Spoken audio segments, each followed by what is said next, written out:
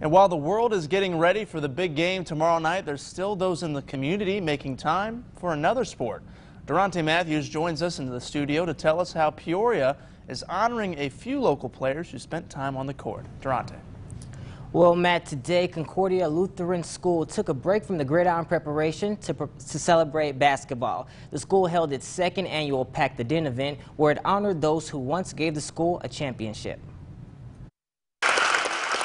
A packed gymnasium at Concordia Lutheran School Saturday honors a team that left a legacy 20 years ago that has yet to have been surpassed. In 1999 and 2000, Concordia's 7th and 8th grade boys basketball team became state champions, a feat former coach Thomas Rupert says makes him as happy as he was two decades ago. Equally proud today as I was 20 years ago.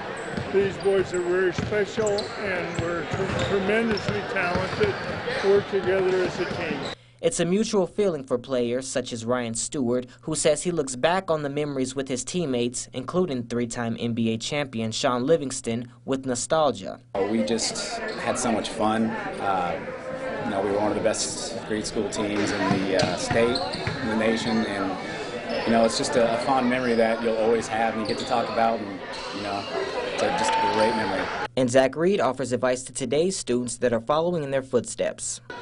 These coaches were able to take a, a group of guys who were just playing basketball outside on a court and able to make champions out of them. So it it's a great foundation, it's a great organization here, and keep playing hard and you can make it. Stewart says he also hopes Peoria can once again become a great city for basketball. This, this was really, at one time, and still could be, a mecca for basketball. And I hope it really kind of gets back to that. Now, back in 2016, Shaun Livingston donated $1 million to help build the school a new basketball gym. That gym is now named after Coach Tom Rupert, who thanks Livingston for turning this dream into a reality.